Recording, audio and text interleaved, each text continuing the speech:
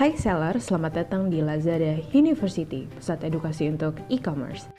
Kali ini kami akan memberikan tips and trick menggunakan Loricat untuk deskripsi produk Anda.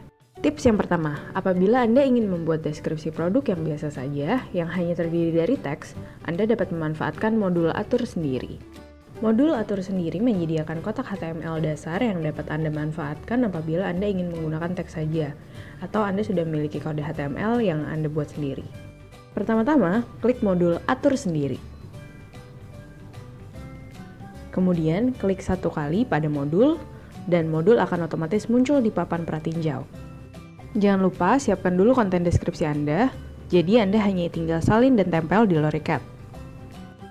Setelah itu, klik ubah konten dan Anda akan melihat box HTML. Ketik atau salin dan tempel deskripsi produk Anda di box tersebut, kemudian klik simpan.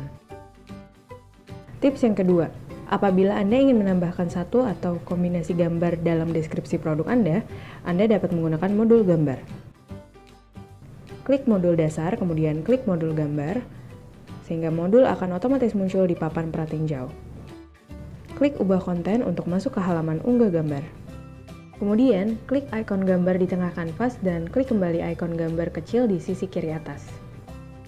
Pilih gambar yang ingin Anda masukkan, kemudian atur tinggi kanvas apabila ukuran kanvas terlalu besar. Terakhir, klik simpan. Tips yang ketiga, apabila Anda berubah pikiran dan ingin meletakkan gambar di atas teks, Anda dapat memanfaatkan ikon pindahkan ke atas dan ke bawah. Caranya, klik pada modul yang ingin Anda pindahkan ke atas, kemudian klik tanda panah atas pada bagian kanan. Modul gambar Anda sudah berhasil pindah ke bagian atas. Apabila Anda sudah selesai, jangan lupa klik terapkan ke PC, kemudian klik simpan. Bagaimana? Mudah kan penggunaan Loricat ini? Selain membuat konten yang simpel seperti ini, Anda juga bisa loh membuat kombinasi gambar dan teks lainnya.